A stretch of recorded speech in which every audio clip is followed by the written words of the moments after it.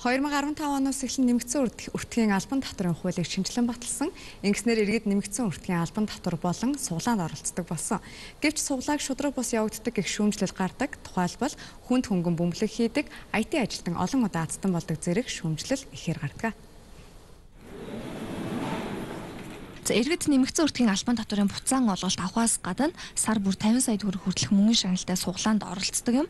За гэвч энэхүү суглааг хууль бус явуулдаг гэх шүүмжлэл иргэдийн дунд гарсаар байдаг.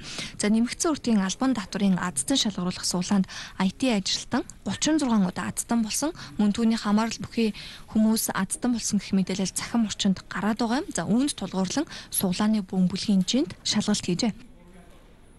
Тухайн нөөтийн суглааны азтан шалгаруулдаг тохирлын буюу бөмбөлөг шүү дээ. Боловсрал телевиз дээр байдаг. Тухайн төхөөрөмж болон одоо бөмбөлгийг чигнэж үцэх, жинлэж үцэх юм асуудлуудаар шалгасан. Иргэдээс ирж байгаа гомдлын хувьд бол ямар асуудал байсан бэ гэхээр бөмбөлөг нь өөрөө хүнд хөнгөн жинтэй байдаг. Тэр нь одоо тодорхой хэмжээнд хөнгөн нь илүү өндөр хөөрдөг гэдэг ийм асуудлууд байгаад байна. Тэгэхээр энийг бол өчтөр шалгаад хянаад бол дууслаа. Бөмбөлгөн дээр болон одоо тухайн машин дээр нь бол ямар бол илрээгүй. Энэ дээр бид нэр цагдаагийн ерхий газрын кибер аюулгүй байдал за татварын байгууллага өөрөө бас давхар хяналтаа тавьчихдаг. А дээрэс нь бид нэр стандарт хэмжилсэн газрыг авчиж яг тухайн стандартын баталгаажсан тоног төхөөрөмжөөр нь бол жинлэж харж үтсэн. Тэгээ манай шудраг хөстэй хэлшин төлөө газар а хөндлөнгөөс бол авилгын эсрэг буюу Transparency International Mongolia байгууллага бол очиж ингэж хамтын шалгал шалгалт бол гэж дуусгасан байна. И баримт системд нийт 1.2 сая хэрэглэгчтэйгээс 708 мянга орчим нь идэвхтэй хэрэгэлдэг.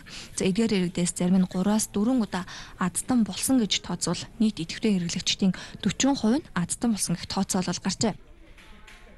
За өнөөдөр бол бид нэр нууцлан шин чанартай буюу нөгөө азтан болсон иргэдийн материалууд дээр бүгдэндээ ингээд ороод ажиллаа явж байна. За гол гараад байгаа гомдол маань юу байна вэ гэхээр нөөтийн IT-ийн ажилтан одоо олон удаагийн буюу одоо 36-гийн үйлдэлээр их хэмжээний мөнгө очлоо гэдэг ийм байгаа шүү дээ. Энэ чинь бас нэлээд удаа явж байгаа гомдол. Тэгээ бидний хувьд бол энэ дээр бол цэг тавих хэрэгтэй гэж харж байгаа. Тэгээ бид нар өнөөдөр яаж үзэж байна гэхээр нийт одоо өнгөрсөн хугацаанд ацтан болсон хүмүүсийн бүх чагсаалтыг гаргаж ирж хагаад а нөгөөдөлтөө нөөтийн албаа гаргачдын чагсаалтыг гаргаж ирж хагаад одоо ингээд бүх тулах харьцуулах ажиллагаанууд бол бүгдээрээ хийгдэнэ гэсэн. Тэгэхээр энэ бол эх 7 хоног гэхэд бол дуусчих واخ. Тэгээ бид нар иргэдэд бол яг нөөтийн үнэхээр IT-ийн ажилтан очиод байгаа мó очихгүй байгаа мó технологийн хувьд яаж яваад байгаа гэдэг бүх мэдээллүүдийг нээлттэй хийн. Иргэдийн зүгээс суглааны үйл явцад итгэдэггүй. За нүүтийн суглааг болиулан буцаан олголтоо авдаг байх зохицуулт хийх саналтай байгаа хэлж байла.